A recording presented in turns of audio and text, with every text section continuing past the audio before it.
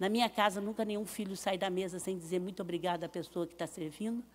Nenhum filho acha que o dinheiro compra tudo para nada. Eles não saem nem de um local de bar, de elevador, sem dizer muito obrigado ao motorista que levou. Minha filha, quando casou, veio todas as pessoas que prestam serviço, porque a primeira coisa que eu aprendi é que o dinheiro não compra tudo. Né? Se pudesse acender um pouquinho mais a luz do público, eu achava bom, gente.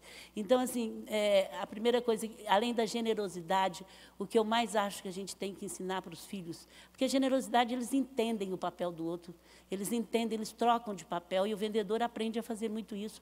A gente tem que aprender a capacidade de aprender.